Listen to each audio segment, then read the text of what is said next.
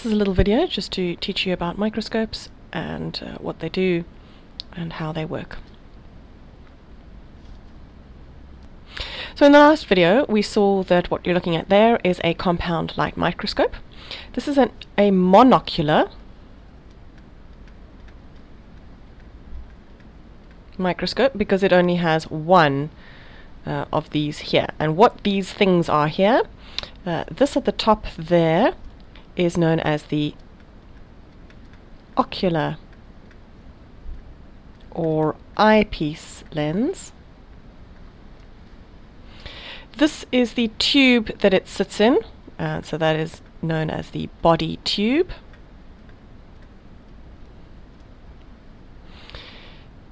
This wheel that sits here, that's known as the nose piece. And it has two jobs. Uh, first job is to hold all of these different lenses on it, and the second job is to rotate to allow you to make use of these different lenses.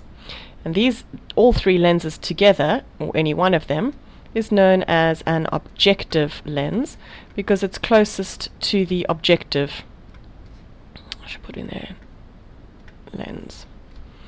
Uh, it's closest to the objective, to the thing that you're looking at. This here, the structure, that's simply known as the arm. Uh, and it connects the various bits to the rest of the microscope. This here is known as the stage, and it's where you're going to place the slide or the thing that you're looking at. Now to hold your slide in place, there are these two clips here. You can just make out the second one over there. Okay, and there's the first one. So these are your stage clips. So you've got your slide there, it's clipped in place, you're ready, basically ready to start viewing. Uh, how do you turn the thing on? Well, there's always a power source or a switch, which will turn the light on. And the light is housed here in the base. It shines through this structure here, which is known as the condenser.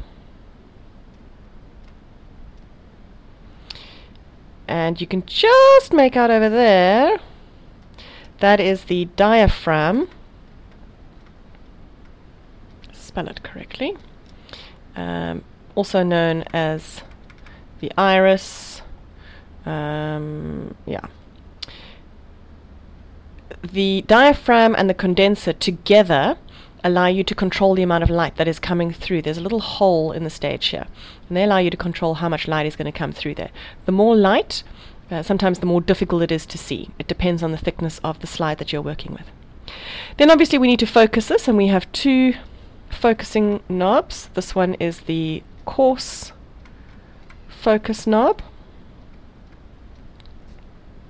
and this one is the fine focus knob. Now the coarse focus knob is the first one that you make use of. Once something is focused under the coarse focus knob, you can then focus it using the fine focus.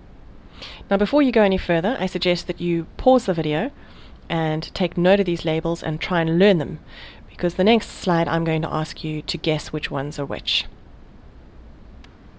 Okay, so you've learnt your labels. Now see if you can label the various parts of the microscope. And once you've done that, you can rewind in the video and check if you've got them correct.